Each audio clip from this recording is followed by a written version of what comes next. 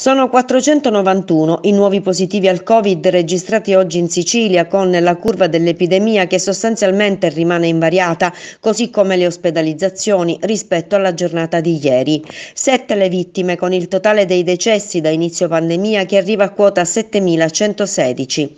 È quanto si evince dal bollettino di oggi del Ministero della Salute. Il dato sui ricoveri dà qualche segnale di miglioramento, stabile il numero delle persone ricoverate con sintomi in area medica 351 come ieri, mentre cala il numero dei ricoverati in rianimazione, oggi 43, ieri 47, anche se ci sono stati due nuovi ingressi nelle ultime ore.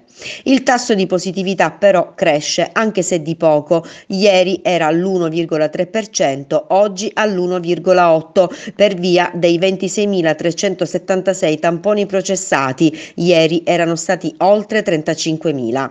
Tra le province resta Catania, il territorio con il maggior numero di nuovi contagi, 139, Palermo 69 nuovi casi, Messina 93, Siracusa 49, Trapani 37, Ragusa 22, Caltanissetta 28, Agrigento 52, chiude Enna con solo due nuovi casi. Nelle scuole siciliane intanto l'incidenza degli alunni positivi al Covid risulta dello 0,15%, sostanzialmente stazionaria rispetto al dato delle settimane immediatamente precedenti e in diminuzione rispetto alla prima settimana di rilevazione quando era dello 0,17%. Lo dice l'ufficio scolastico regionale riferendosi alle percentuali di alunni positivi nella prima settimana di novembre sul 92% delle scuole siciliane italiane da infanzia a secondo grado.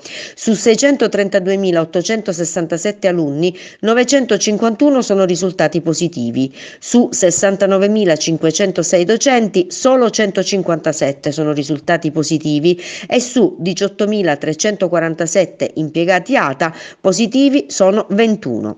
Per il personale docente si riscontra una variazione dell'incidenza dei positivi rispetto alla settimana precedente da 0,15 a 0,23. Per il personale ATA si rileva un'incidenza pari allo 0,11%, pressoché invariata rispetto alle settimane precedenti e in miglioramento rispetto alla prima settimana di rilevazione, quella tra il 20 e il 27 settembre scorsi.